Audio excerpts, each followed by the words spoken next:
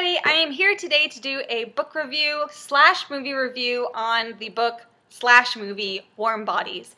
I just finished reading this book a few days ago, I guess, and I nearly couldn't put it down. Like, I was reading it on my lunch break at work, I was reading it up until 1 o'clock in the morning. This book was friggin' awesome.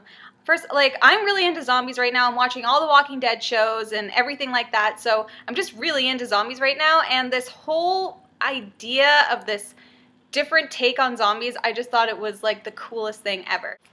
Warm bodies. I'm just to start off by telling you a bit what the book was about and what I thought of the book, which you already know by now after me just saying how much I loved it.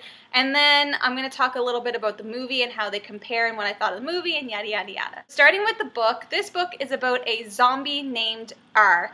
And R can't remember his name or his past life, but he really wants to and he really he feels different as a zombie because he has all these different, you know, intelligent thoughts and he's wondering if he's the only one that feels this way and he is a zombie who is obviously already dead, but he doesn't want to die because, as you know, you can kill a zombie by debraining them and shooting them in the head and all that good stuff. But he realizes that he doesn't want to die, and he thinks that that's kind of a weird thought for a zombie to have. Now, he then meets this girl named Julie, and how he meets her is that he actually this is I'm gonna be spoiling a lot of this stuff. So if you don't want spoil alerts, then maybe don't watch this because I just want to talk about this book. So he meets this girl Julie, and how he meets her is that he actually ends up eating her boyfriend. So as the zombies in this book, as they eat the brain of someone, they actually kind of absorb their memories and they remember things. So R ends up eating Perry, who is Julie's boyfriend's brain, and he sees all of these memories of Julie and then he sees Julie and all he wants to do is just keep her safe. So while the other zombies are attacking everyone, R just goes to Julie and he says, come with me, I'll keep you safe. I just want to keep you safe. Well, he doesn't say, he's like, keep. Safe. So then he ends up taking Julie back to the airport where all the zombies are living, and he keeps her in his 747 airplane, which is his home, and she just slowly starts realizing like what are you? Like you are not like any zombie i've ever seen. It's getting really bright. Sun go away. So they develop this friendship and then feelings obviously get developed. And you know zombies aren't supposed to have feelings and all this stuff so julie starts thinking that maybe there's like a cure for this whole thing so julie ends up going back home and R follows her there, and basically they're trying to convince everyone, like I'm fast forwarding through this obviously, but they try to convince everyone that, you know, he's different, he's changing, that all the zombies, like, they're changing. So then at the very end, there is like this kind of battle between the bonies, which are zombies that have no flesh left and they they're just psycho, and then the fleshies, which are the zombies who are starting to change back. And then the people, and it's just like this struggle, and basically, obviously, R ends up getting healed, and he turns back into a human, and him and Julie fall in love, and he turns back into a human after they kiss, which I just think is like the cutest thing. And I mean, I knew it was gonna happen, but I was so pumped up. And thinking back to it now, like, would I make out with a zombie? Mm, probably not. Like, they don't even brush their teeth. I just think that this book was um, it's just such an interesting take on zombies and the different relationships. There was such a good character development throughout the book. Like I was in love with R. I thought he was amazing. He was so cute and I like Julie. She's very she was like a firecracker. And then R's best friend M, I loved him too, and I thought their relationship was really cool. How you know they were like grunting at each other, and then it gradually started using more words and things like that. So this book overall, I give a 5 out of 5. I think that this, like, I would read it again. I'm trying, I want my boyfriend to read it because it's so good. I'm just, everybody should read this book. I freaking love it. Now, moving on to the movie. I watched the movie literally immediately after I finished the book.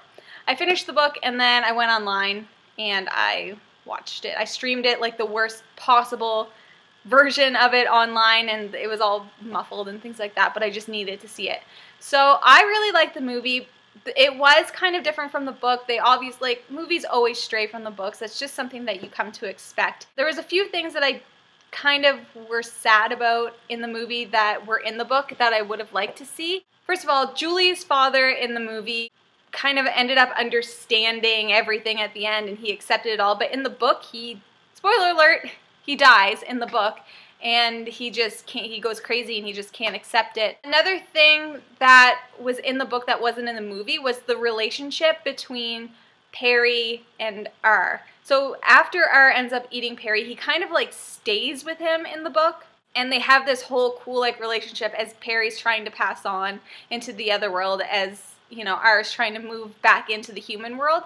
And it's there's dialogue between them through the entire book and that just wasn't there in the movie and I kind of miss that. I know that's probably like kind of hard to my legs my legs fell asleep, so I had to change the way I was sitting. The whole Perry R relationship was kind of missing from the movie, which was disappointing. And I also kind of wish that there would have been a bit more, I don't know, character development, I guess, in the movie, but like, like I said before, it's a movie and you only have so much time, and I think that they did a really good job of making it into a movie. But I really enjoyed the movie and the book. So it was just kind of a different experience between both of them. A few things that I did really, really like about the movie is I think the casting was spot on. Like Nicholas Hoult, I, or Hoult, I don't know how you pronounce his name, first of all, I love him. I think he's fantastic and everything, and he's so, so cute. He was the cutest zombie I've ever seen in my entire life. I think he was great for that role. So the actress who played Julie, Teresa Palmer, I thought that she was really good for Julie. My only issue with her is some she sounds like Kristen Stewart, and I just really don't like Kristen Stewart. Like this was even before the whole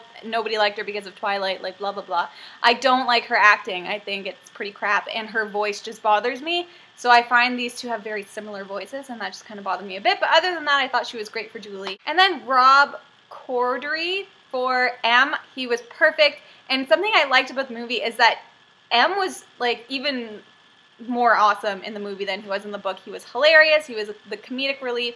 I just really liked it. James Franco's little brother, Dave Franco, as Perry.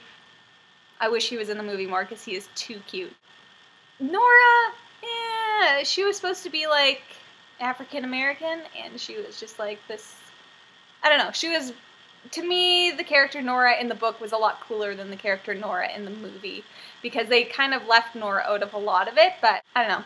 I like that actress. I think that she's cute. So no complaint. So I just think that this book is for sure worth your read. The movie is for sure worth you going to see. And I love them both, and I'll be promoting Warm Bodies until the day I die until everybody reads it because you gotta read it. It's so good. I love it. And I think I forgot to mention the book is by Isaac Marion. Marion? And this was actually his debut book, and what a friggin' way to come out into the book world. Fantastic. So those are my thoughts on Warm Bodies, the book and the movie. So thank you so much for watching. If you like what you see, please subscribe, and I will see you guys again soon. Bye!